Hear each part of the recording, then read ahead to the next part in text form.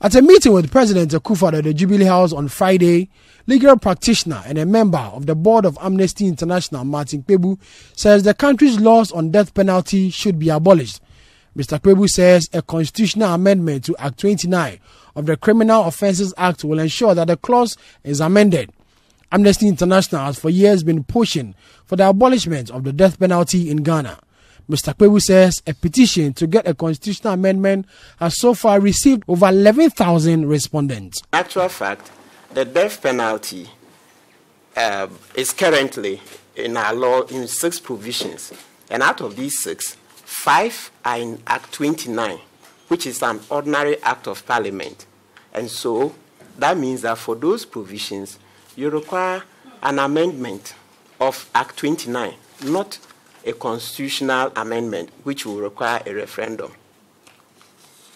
It is provided in Section 46 of the Act 29 that a person who commits murder shall suffer death, so to paraphrase.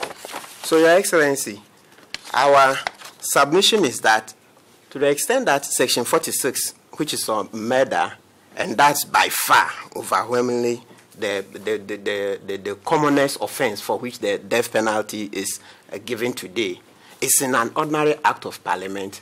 That is all that we have to do is to amend section 46 and the other sections of the Act 29. President Akufo on his part says government will consider the options available and do what is right.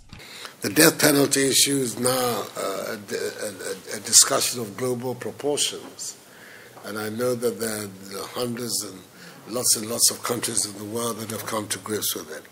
I think that the solution that you're proposing is an ingenious one, mm, to the extent that five out of six, is that what you're saying? Five out of six offenses can in fact be dealt with by statutory enactment.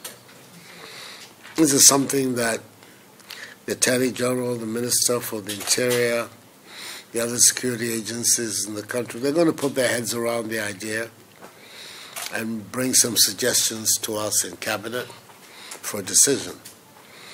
But I think whatever be the case, even when the, the proposal will come for us to adopt this solution of yours, I think that when it goes to the parliament, it should go as a, uh, as a not as a party issue with party whips. It should go on a free vote so that people can express their views and, and not be driven by the whips of the majority party.